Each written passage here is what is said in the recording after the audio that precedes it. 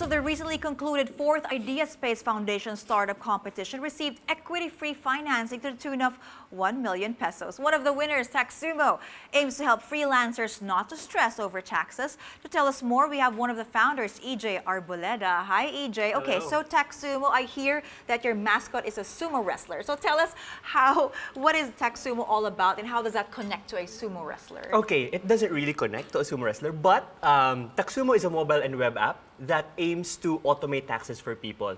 Um, one of the things that we want to do is we want to make taxes as easy to do as possible. And we hope, you know, that uh, that's the reason why we have a sumo wrestler. We're associating it with something that's that's more fun, more cartoony, um, so that's All more right, yeah. taxes, easy, fun, cartoony, not exactly along the same lines in my yes. case. So please tell us, how does Taxumo do that? Do people go have to go online? What do they Hmm. do? Fill out a form? Yes, that's right. Um, well, they do have to go online because it's a mobile and web app. Um, and uh, it, they can connect Taxumo to their existing uh, financial software, or they can use a rudiment, rudimentary accounting software that comes with it. And then Taxumo does three things mainly. First is that um, it, it helps, uh, it creates the tax forms automatically. So in just one click, it gets all that data, puts it in all the complicated forms. So no need to be overwhelmed by the forms, right? So second, you can pay and submit directly through the app. So no need to line up anymore at the bank or at the government office.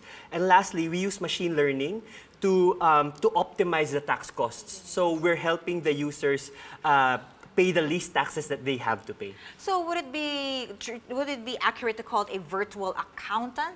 Uh, Um, Or- yeah, I understand what you're saying. Yeah, but but no, it's not really an accountant because um, it does the tail end of things. Okay. It does the everything, all the transactions related to taxation.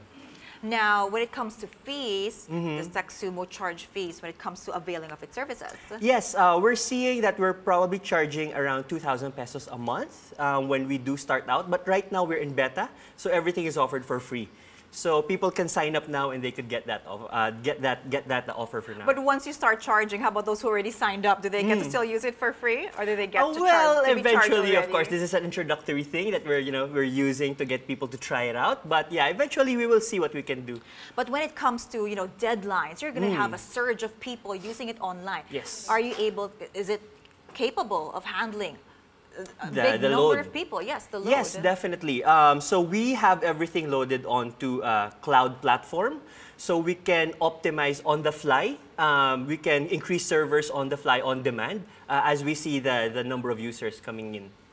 Now you just got one million pesos after winning, of one of being the top, one of being the ten winners from that Yep. space. Where is that one million going? Oh, well, a lot of it is going to go into development because, as I said, we're just launching a beta version. So we will want to launch the full functionalities of the app. Okay, what's the target date for that? Oh, the target date is um, by uh, October.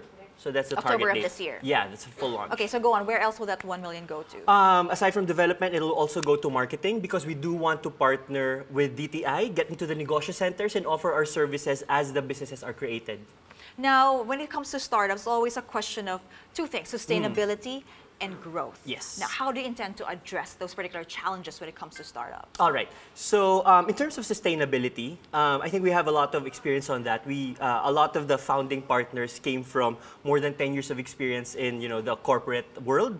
So we do know how to sustain a business. Um, also, we are seeing you know we are very much pricing ourselves against the market, making sure that it's something that the users will use. So that's in terms of sustainability. Now, in terms of growth, um, we are seeing there's also a lot of ancillary services that we can offer um, th- to add value to the users. What would be those type of ser- services we can look forward to that you will be adding? Mm, like for example, um, if they want more detailed um, uh, uh, discussions with accountants, we can offer that meeting with accountants. Al- Also, if they want to um, work with tax lawyers eventually, that you know, if, if for example, uh, if, if unfortunately they have cases, for example, we can refer them to uh, to tax lawyers, and you know, we can help them that way.